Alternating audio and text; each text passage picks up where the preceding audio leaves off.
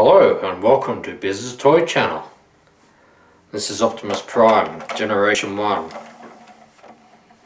Transformers, I like takeout food. It sucks when you don't have a menu. This one is Optimus Prime, Generation 1. The original edition. I think the original is the best. It's actually based on a 1973 Freightliner this guy.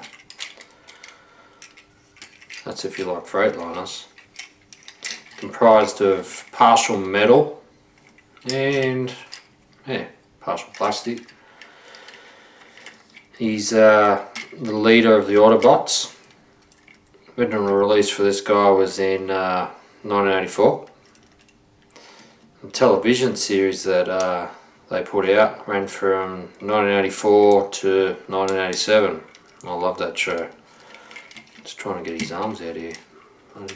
There we go. This one's actually mine from when I was a boy. Love this thing. Ah, there we go. Yeah, so anyway, the Autobots, they're fighting a never-ending civil war between the evil Decepticons, which is like their enemies. Anyway, the war wages on Cybertron and um, the uh, evil Decepticons and the evil Autobots are running out of Energon, which is their fuel. So what they do, they end up escaping, or the, the Autobots escape the planet, search for a new source of Energon, or face extinction, or to continue the fight, I suppose. There he's all set up. Yeah, so they leave Cybertron in their spaceship, the Autobots that is, and then they end up crash landing on Earth because the evil Decepticons board them and stuff them up, basically. Then they um, go searching around planet Earth trying to find um, some more energon. That's his laser rifle there. Pretty cool looking thing, eh? I am Optimus Prime, leader of the Autobots. Autobots, roll out. Love this guy. Yeah. His original name was actually Orion Pax, dock worker. He was um, he was actually injured by uh, Megatron during the heat of battle. Anywho, this Autobot elder grabbed him in his mangled form and rebuilt him, hence becoming Optimus Prime, the leader of the Autobots. I've got his trailer here, forgot about the trailer. I forget that.